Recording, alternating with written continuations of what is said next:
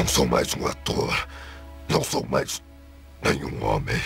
Fala galera, aqui é o Marcelo e sejam bem-vindos de volta a Batcaverna. E o desenho do Batman série animada teve muitas versões marcantes dos vilões do Batman. A gente aqui começa a lembrar, né, do Coringa, do Duas Caras, do Espantalho, né, desse desenho, mas tiveram alguns vilões aí da galeria do herói que tiveram o seu patamar elevado através aqui dos episódios desse desenho. O caso que muitos lembram é do Sr. Frio, que simplesmente virou outro personagem. Mas teve um outro que que poucos lembram, que teve episódios excelentes. E esse vilão é o Cara de Barro. Esse vilão até teve poucos episódios, mas foram ótimos. Por isso então, no vídeo de hoje nós vamos reunir aqui a trajetória, né, e falar desses episódios marcantes do Cara de Barro nesse desenho. Bora descobrir quais são esses episódios depois da abertura.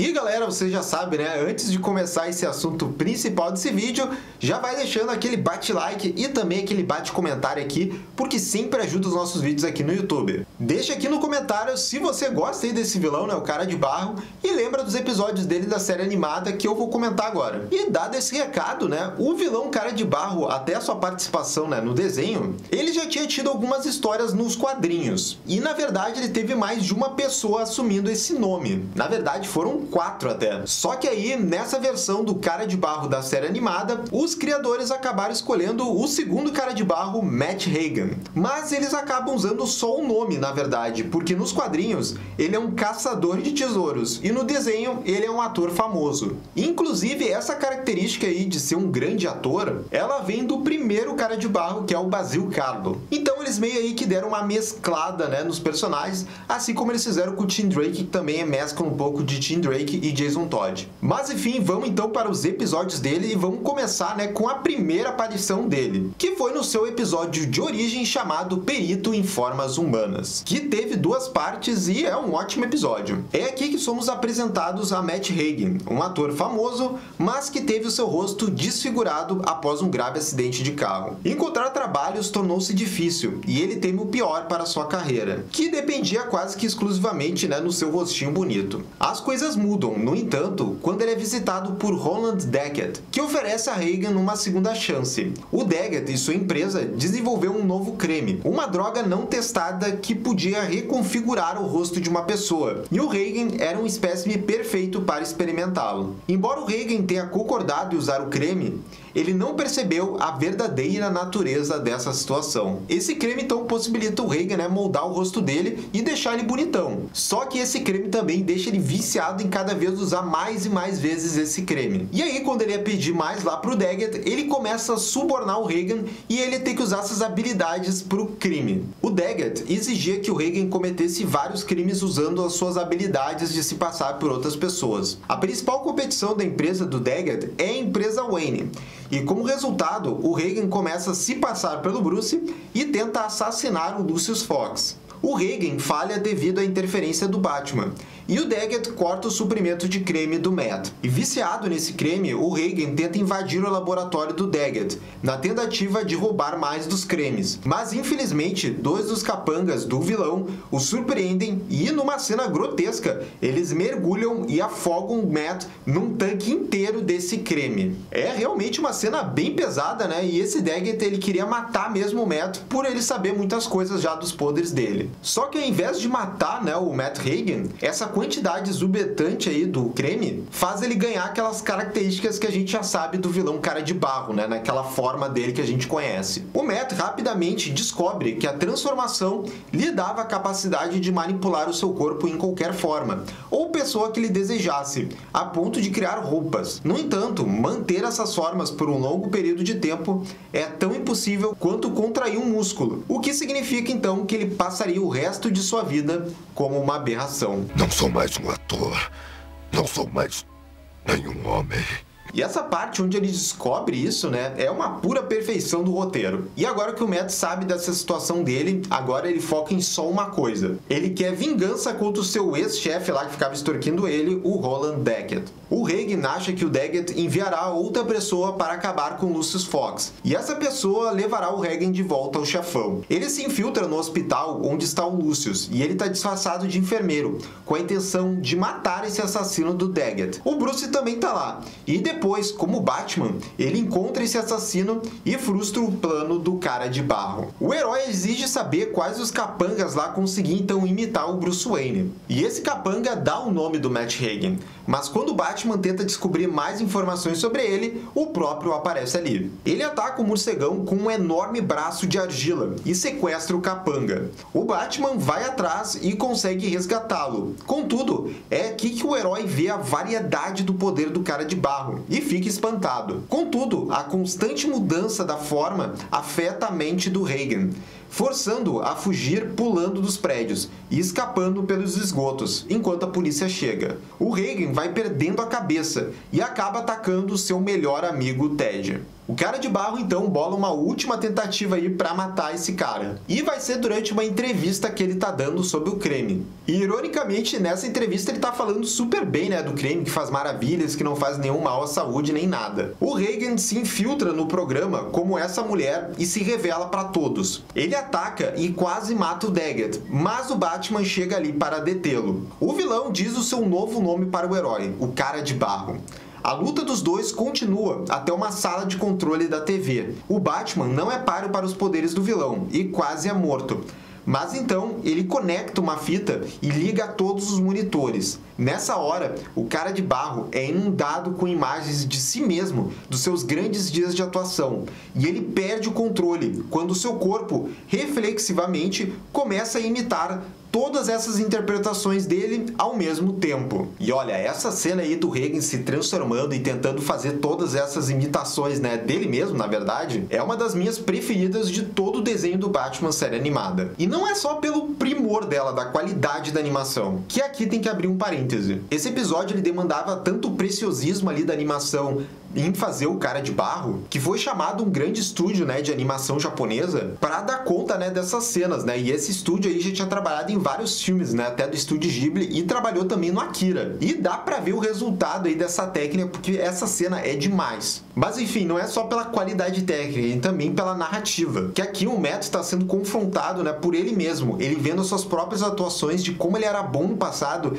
e para mostrar no que, que ele vem se transformando, né, nesses últimos dias desde que ele começou a se viciar no creme. Isso diz muito sobre o tipo de pessoa que agora ele se tornou. E durante essas transformações do vilão, o rosto do Bruce Wayne aparece por tempo suficiente para que os policiais o vejam. E batendo então em um painel, ele grita quando a eletricidade percorre o seu corpo e ele finalmente desmaia. O rosto do Reagan assume brevemente a sua aparência real, aquela desfigurada, e ele lamenta ao Batman que ele acabou de ter uma cena de morte espetacular mas ele não poderá ler as críticas positivas depois. E ainda me vem essas falas finais dele, cara, perfeito aí tudo. E bem, mais tarde, né, pro encerramento desse episódio, é mostrado que o Lucius Fox, né, ele se recuperou daquele atentado e o Bruce Wayne foi inocentado então de todas as acusações dele. Contudo, algo ainda chama a atenção do Batman. Ele descobre que a eletricidade não teria dado um dano real ao corpo do Reagan. E ao lado da descrição enigmática do vilão da sua morte como uma cena, o Batman chega a conclusão de que o cara de barro ainda está vivo. E isso fica ainda mais claro quando o corpo que a polícia levou para o necrotério vira pó. E como eu disse ali no começo, né, esse é um dos melhores episódios, né, do Batman série animada, e o vilão depois apareceria só em alguns episódios. Primeiro porque a animação, né, quando você coloca o cara de barro, ela demanda muito tempo de trabalho.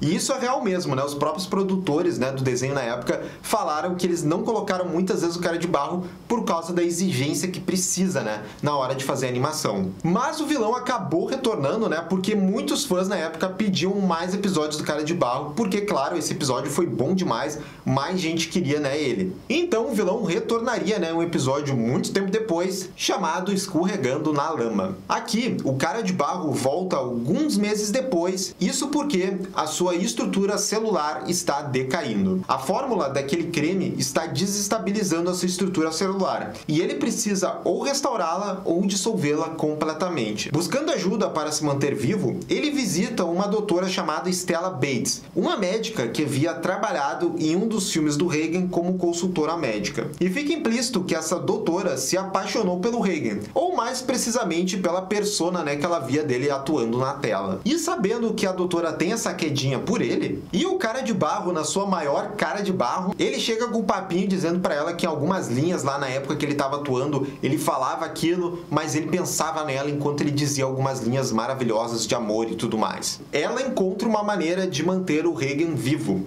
e é através de um isótopo experimental chamado MP40, que também restauraria, se não aumentaria o poder das suas células. O isótopo, no entanto, pertence a uma ala das empresas Wayne. E para isso, o cara de barro então invade os laboratórios e tenta roubar esse produto químico, mas só consegue pegar uma pequena quantidade devido à chegada do Batman. E é nessas cenas aí de luta com o Batman que a gente vê de novo por que eles não usavam né, o vilão em todo episódio. Porque quando eles têm que usar, os caras capricham na animação né, dos poderes do vilão. Aqui tá de novo, tá muito bonito. No laboratório da doutora, o vilão passa por um processo de restauração, mas o Batman interrompe, incitando então uma luta. A batalha, que é muito legal, segue o seu caminho para fora do prédio, numa noite chuvosa, e culmina em um penhasco à beira de um rio. O cara de barro tenta umas últimas investidas, contudo, ele ainda está enfraquecido, devido à sua estrutura celular e também porque está chovendo. O Batman se esquiva desses ataques por tempo suficiente para o vilão começar a desmoronar ainda mais. Embora o Cavaleiro das Trevas tente salvá-lo, o cara de barro despenca desse penhasco, caindo para sua suposta morte no oceano abaixo, onde ele aparece se dissolvendo. Bom, aqui então nós tivemos a última aparição né, do cara de barro nessa fase do desenho. A gente viu então que ele conseguiu colocar um pouco né, desse novo componente químico na estrutura dele e que talvez vá aumentar ainda mais os seus poderes e aí dá uma deixa de que ou ele morreu ou não morreu. E assim, então durante o Batman série animada ele teve só dois episódios, mas eu gosto de dizer então que foram dois ótimos episódios e que fizeram jus ao vilão, né? Só por causa desses episódios ele já deu uma elevada assim no patamar dele dele. A gente vê mais uma história aí de vilão trágica, né, do Batman, tal qual o Duas Caras que aparece também, o Senhor Frio, eles conseguem fazer isso muito bem. O Cara de Barro então só voltaria, né, durante a nova fase então do desenho do Batman, que são as novas aventuras do Batman em 1997. Esse próximo episódio que a gente vai ver, ele traz o desfecho então do vilão que a gente viu agora há pouco e vai mostrar como é que ele sobreviveu, né, àquela queda e dele dissolvendo ali no oceano. Isso tudo enquanto esse episódio também foca bastante no novo Robin dessa fase do desenho, que foi o Tim Drake. O episódio se chama Dor de Crescimento e é muito trágico. O Robin se depara com uma garota da sua idade, totalmente perdida. Ela não tem memória nenhuma de quem ela é ou até o seu nome, que o Robin acaba dando de Annie, como uma forma de ajudar ela. O que ela tem certeza é que um homem misterioso está atrás dela e que ela tem pesadelos com ele. E esse homem misterioso aparece depois. E ele parece ter uma força sobre-humana e fala que é o pai dessa garota. A dupla dinâmica acaba até lutando uma vez com ele, mas ele consegue escapar. Enquanto o Batman fica na Batcaverna ali investigando mais sobre esse cara, o Robin continua ajudando a Saene. Os dois criam um laço de amizade e até um pseudo-romance se estabelece entre eles. Mas é nos finalmente desse episódio que vem a bomba. Essa garota não é humana. Na verdade, ela faz parte do corpo do cara de barro. E sabe aquele cara que tá atrás dela? Esse é o cara de barro. E é revelado que depois que ele se dissolveu na água no último episódio, ele permaneceu vivo por tempo suficiente para chegar próximo aqui de uma fábrica onde ele foi encharcado com produtos químicos desconhecidos que estavam sendo despejados no rio. Esses produtos químicos restauraram o cara de barro, mas ele estava completamente perdido e não sabia onde estava. Então essa nova restauração e junto com aquele isótopo lá que a gente viu do último episódio, concedeu então ao cara de barro novos poderes. E o principal desses novos poderes é a capacidade então dele conseguir se dividir, né, gerar partes dele que tem uma consciência própria. E aí então que uma primeira cria que ele fez foi essa garotinha então para poder vasculhar a área ali de onde ele acabou de se restaurando. Só que a Anne ficou tanto tempo fora ali do cara de barro que ela ficou com amnésia, ela esqueceu que na verdade era um pedaço lá do cara de barro e que ela tinha uma missão. Então agora, o vilão quer o seu último pedaço que faltava, a própria garota. O Robin insiste que apesar disso,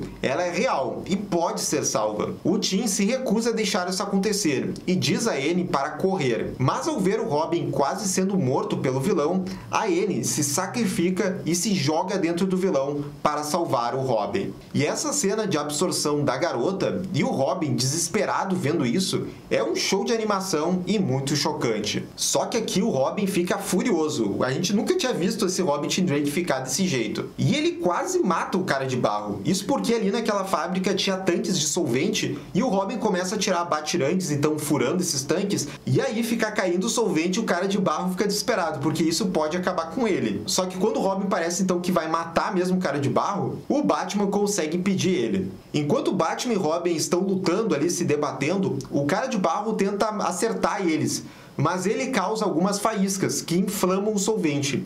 Isso causa uma mega explosão que nocauteia o vilão. Depois, o Batman e Robin assistem enquanto o cara de barro é preso. O Robin é profundamente afetado pela morte da Anne, e o Batman tenta consolá-lo dizendo que às vezes não há finais felizes. E ao ouvir o vilão sendo acusado de roubo e invasão, o Tim murmura que também ele deveria ser condenado por assassinato. E triste, ele volta para casa. Nossa, aí nós temos mais um final 10 de 10 envolvendo o cara de barro também. Esse é mais um episódio sensacional porque a gente pôde ver um pouco mais desses novos poderes aí dele e ficar surpreso que daqui a pouco umas partes deles podem ter consciência. E fora isso, também esse episódio é um dos melhores envolvendo o próprio Robin Tim Drake. Enfim, é bom demais esse episódio. E bem, nós chegamos então agora na última aparição do vilão no desenho que foi no episódio chamado Cavaleiros das Festas. Foi o episódio de estreia, né, do desenho dos Novas Aventuras do Batman. Só que assim, cronologicamente, esse episódio que a gente acabou de ver agora com o Tim Drake, ele vem antes desse episódio aí do Cavaleiros das Festas. Mas enfim, esse é um episódio temático, né, de festas de final de ano,